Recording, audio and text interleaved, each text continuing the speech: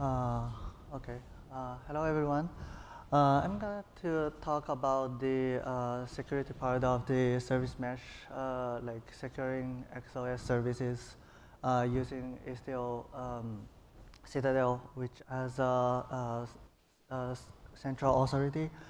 Um, so I think Sai went over the Envoy overview in the previous talk this is pretty much uh, based on that talk. Um, uh, I will go over the um, details uh, of the Envoy and how um, they work with the Istio Citadel later. So, um, so this is the agenda today. Uh, so it's kind of like I will go over how to like securing principles and go over the um, the identity and SVID, which is the verifiable identity uh, document, and then uh, go over how Citadel do the provisioning and how they um, issue to Envoy and how Envoy uses those uh, identity documents. And then uh, I will uh, take a de detailed look of the Envoy to how to use those uh, ID issued by Citadel. Then uh, we will go over the identity issue of uh, flow and uh, cover a little bit of authorization.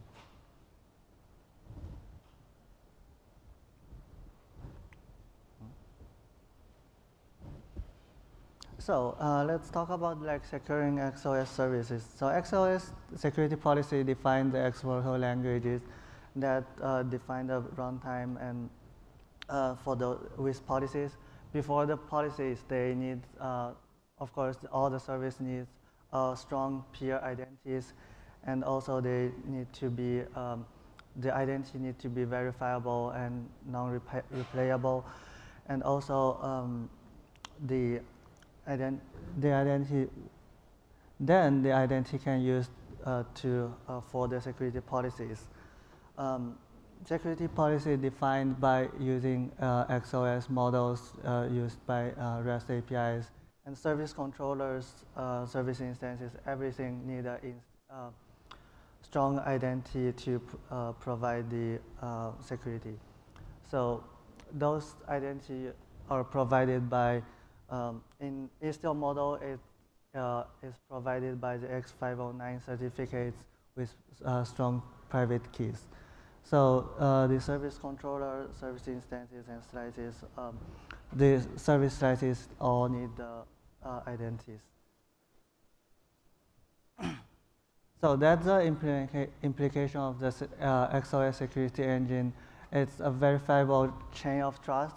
So uh, the Istio CA will issue the um, CA certificate to the sub CA, which is node agent. Like each node, node means uh, actual machine or actual um, VM um, and uh, uh, Kubernetes nodes.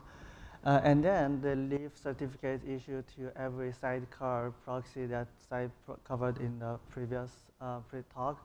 That is the sidecar proxy to uh, every instance, every component, every XOS um, service instance. And that will provide the possibility of the RBAC mechanism based on those um, identities.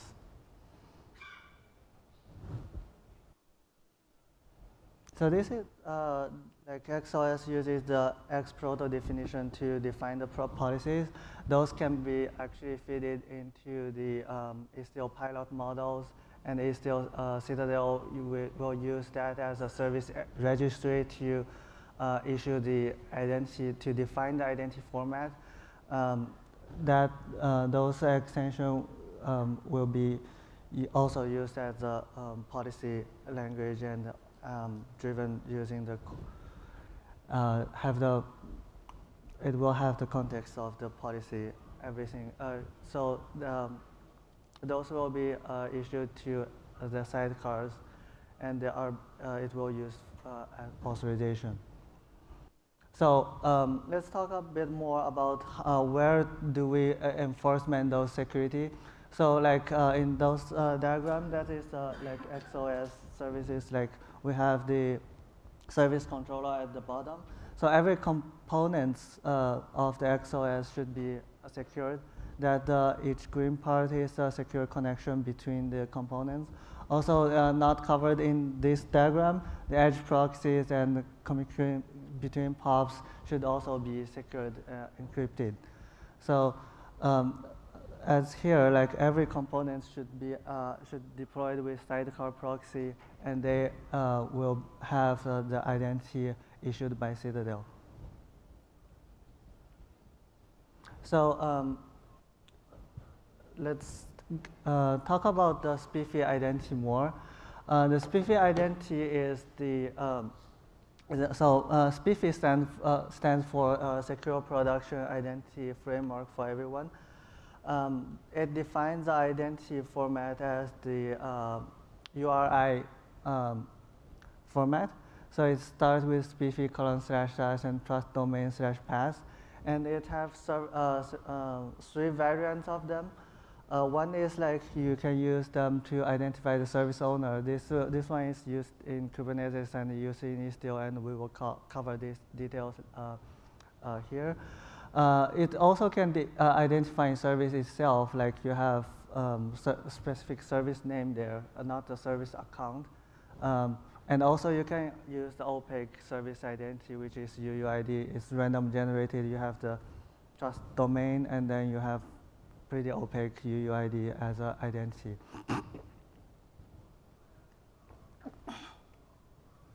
so uh, uh, SPIFFE ID itself doesn't uh, define a verifiable uh, ID format. Um, that, that part is covered by X509 uh, SVID. So that is the verifiable identity document. That is basically um, maps the SPIFFE identity to X509 PKI, and uh, it includes the SPIFFE identity as uh, in the SAN field of the uh, X509 certificates. Um, it, it has some basic constraints, means like the length of URIs and the, um, so the identity in the SAN field, not in the common name, not in other field. Uh, it also has the key usage uh, constraint, constraint means the um, root, root CA and uh, intermediate CA should use the key uh, signing key usage. And uh, since name constraint uh, for CA keys is also defined, um, it is nice to have constraint right now since um, um, implementation of the X509 PKI doesn't have uh, well uh, good support for URI name constraint. It usually have good uh, name constraint support for domain names, but not really good support for URI. This is uh, something uh, SPIFFE communities look is looking at uh, improvements. So, uh, so this is like how we can use the SPIFFE identity for XOS services. Um, like uh, we, we will, Citadel will usually use the uh, service, uh, uh, use the identity that identifying service owner. That means who deployed that and uh, that is a service account model.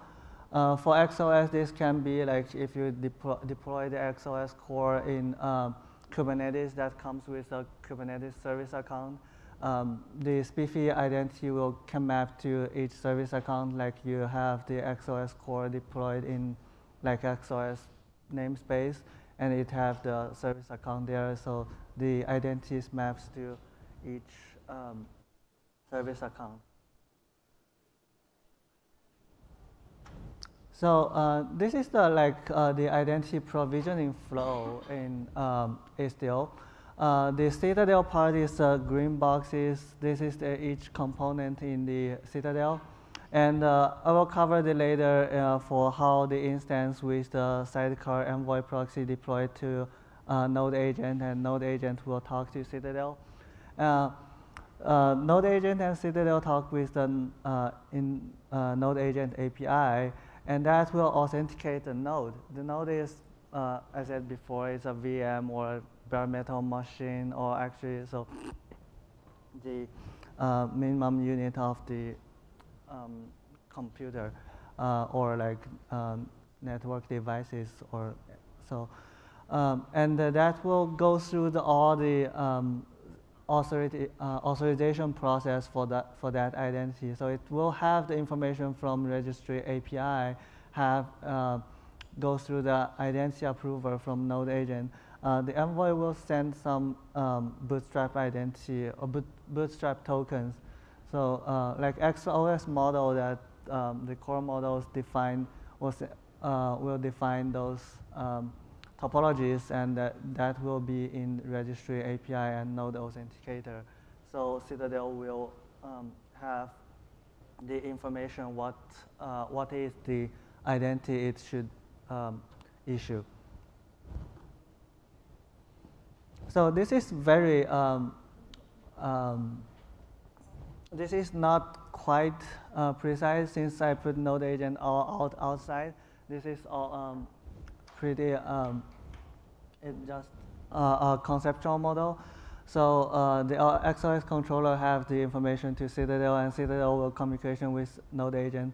In fact, in fact, this uh, if you write a node, it will be uh, in the below side, uh, downside. Uh, every node agent in every node, and each node will have some service instance or like uh, instance there. So this is very like conceptual um, diagram, um, and that one node. I want to emphasize that the node agent and Envoy talk in gRPC. And that one, since this is used as a uh, identity bootstrap, it will communicate uh, with the Unix domain socket. Uh, like in Kubernetes, this is done by the uh, flex volume mount so that you, uh, you don't have the um, bootstrap issue like if you connect with TCP over network, you need another identity to talk to a node agent. This is why node agent is needed here to provide the identity and also the bootstrap uh, certificate to each uh, proxy.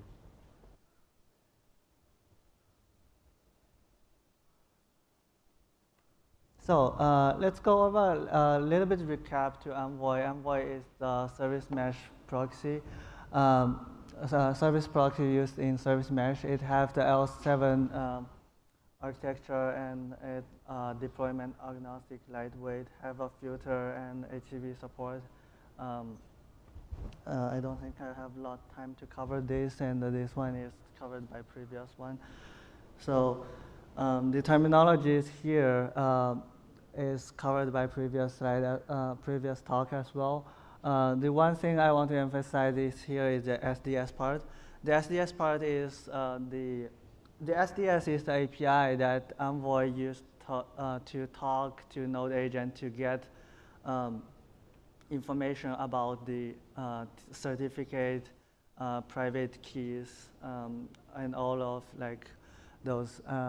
It can be also used for the TLS session keys in some deployment, but uh, we won't cover that part here. Um,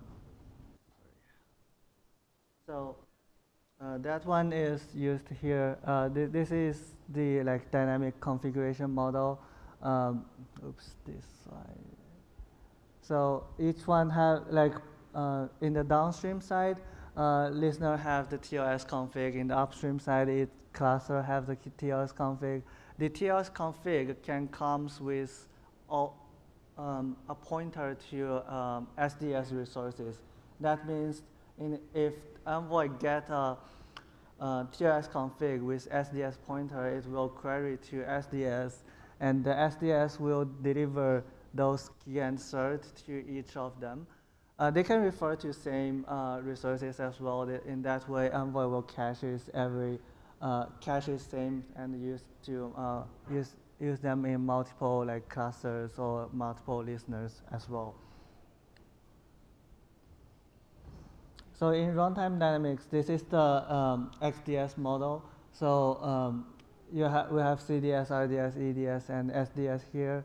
Um, so with the node agent here, uh, and now Citadel, so Pilot will issue, uh, have the topology of the, uh, the service um, to Envoy, and then it will send the links to, um, to the SDS uh, resources the, then Envoy will query node agent to get the identity um, from Citadel. And this, this is the eventual consistent model. So um, listener, when Envoy get listeners from information from uh, pilot, then it will wait uh, until it have enough um, information from node agent as well before it's starting serving uh, that listener. So this is the node agent, uh, how node agent work. Um, node agent will, um, the key part here is node agent uh, will take the responsibility of generating private keys and send us uh, certificate signing request to Citadel. And Citadel actually only responsible to uh, issue the certificate part. It doesn't issue the key. Key is generated in Node Agent. And Node Agent communicate with Envoy with the SDS API. So this is the issuance flow. So the first one uh, after Envoy, as I said in previous uh, slide, Envoy get the listener's information or cluster's information with SDS uh, resources. Then it will send uh, the uh, SDS request to Node Agent. Uh, that will um, provide a Bootstrap uh, token Bootstrap token usually is uh, if the Envoy is deployed in Kubernetes, it could be the Kubernetes uh, JWT token. Uh, and it also can be, uh, if in bare metal de deployment, it can be a token from metadata server. Uh, uh, and that will be sent to Node Agent. Node Agent will verify that token in, um, for, for its um, to identify which, uh, which service is querying to um, its request, uh, uh, requesting identity. Since each node can have multiple instances and it's critical for node agent to uh, distinguish which service is querying, uh, requesting the uh, identity documents. And then node agent here will generate a, a, certificate signing request and request the, actually the signing part from Citadel. Uh, Citadel is also a, a pluggable um, component here. It can, it might work, um, have another backend to uh, public CAs, or but it can also be like in in in-house root CA. Um, that one is opaque to Node Agent. So Node Agent send the CSR to Citadel, and Citadel uh, sign, if, if the, uh, all the authorization passed, then Citadel will send back um, the signed certificate and the uh, whole uh, certificate chain up to the root CA back to Node Agent. And Node Agent then will respond that uh, to uh, sidecar proxy. Uh, Node Agent will also um, caches the um, key and certificate if uh, that is necessary. So uh, if um, if some of the deployment of the instance restarted, it doesn't always go to the Citadel to uh, request new signing um, process. So uh, the, uh, this is the merit. the um, merit of this flow is that it it is secure uh, because like um, um, node agent generate the key and uh, it, it always stay in the same machine. Um, uh, we also, uh, I think there's also a discussion about using uh, TPMs or like hardware securities uh, here with node agent, but it's not implemented yet. Um, it's also very scalable since Envoy, Envoy manages the expiration uh, and Envoy will query new certificates when uh, the, expi uh, the expiration time is very close. Um, it, Citadel only responsible for the signing, so each part, each component here have its own uh, responsibility, and it distributed to um, to um, every node. Uh, it's also efficient, like um, the Envoy XDS model provided a very uh, efficient model here. It doesn't require to restart the uh, server. Uh, you can always get the um, new certificate um, without interrupt the existing traffic. Um,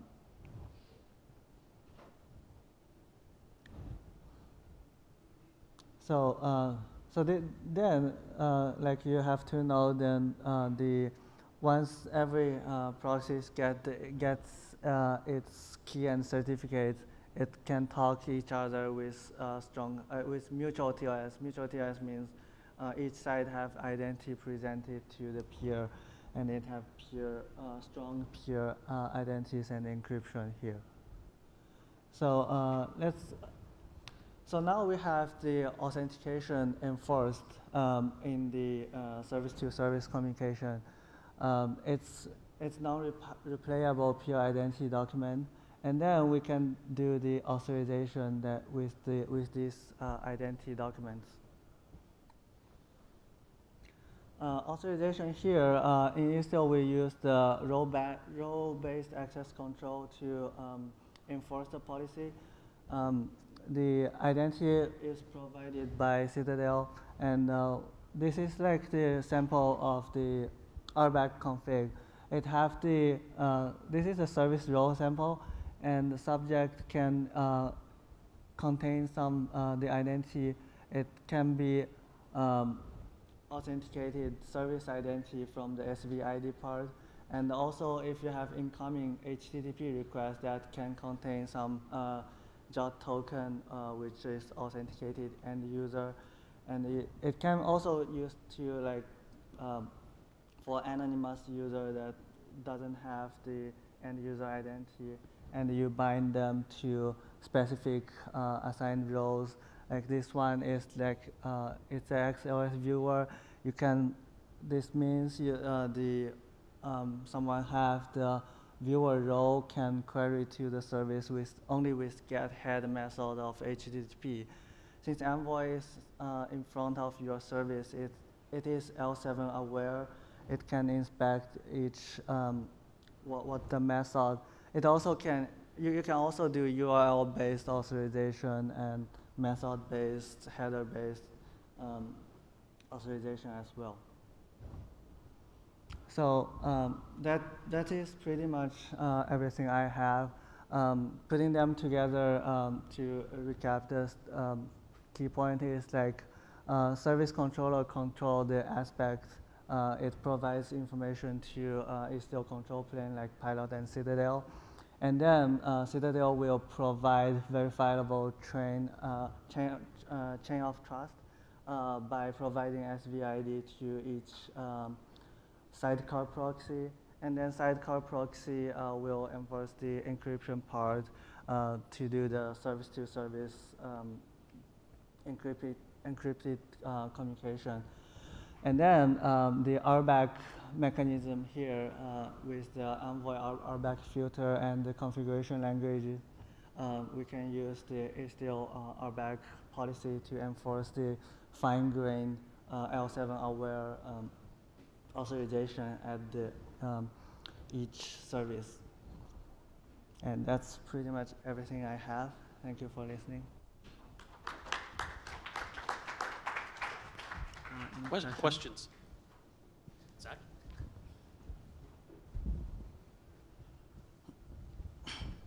I have like 10 questions, but I'm not going to ask them all. um, so when um, a certificate is generated and you generate the SPIFFE URL, which is part of the, uh, the SAN field, right. Um, what portion of the URL is within that? Is it just the uh, what? Because I'm assuming that you can extend the URL to get to a subsection of of the API. Does this question make sense, or is it the is it the entire? Sorry, uh, can, can you repeat that question? so, so what is in the SAN field of one of those? Is it just the name of the service, what, or is it the name of the, the target? If you go uh, back to your so so the SAN field contains the identity of the service account, which is the um, like one of the SPIFFE uh, identity we use in. So, so it, it contains that entire thing, including the path. Yeah, including path. Okay. That, that in the SAN uh, as a UR, URI type in the okay. SAN. So it uh, so like for, for example here you, we including every like to the to the end. This is the SAN field. Okay. Um, and what's the, is there a trust relationship between uh, Citadel and the Istio um, uh, pilot? Is there, do you have to establish that trust or is there, um, in generating certificates? Um, I'm just trying to see what parts of components have to trust each other for the, for it to all work. So the, uh, you mean the trust model with, between Pilot and Citadel? Right. Uh, well, they, uh, so in regular Istio deployment, they read from the single source of truth of the configuration, which is Kubernetes uh, API server. So basically, you feed uh, same config to them, and they, each of them are actually stateless, so they don't have uh, communication between them. Okay. Alrighty. Thanks.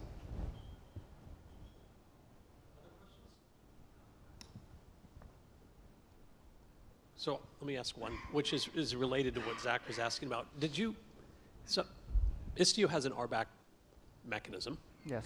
and XOS has an RBAC policy statement. Did you match those up in an example, just to see how well they align? If it's, if the Istio RBAC is sufficiently powerful, or did you, do you have any experience with that?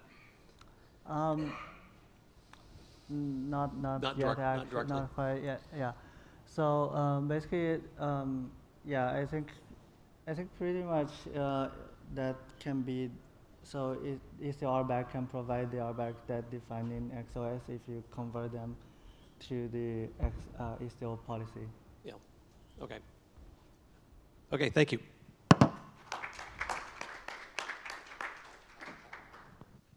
Okay, one, one more talk, actually a panel. Uh, So if my panelists could come up and take a seat. How do I now?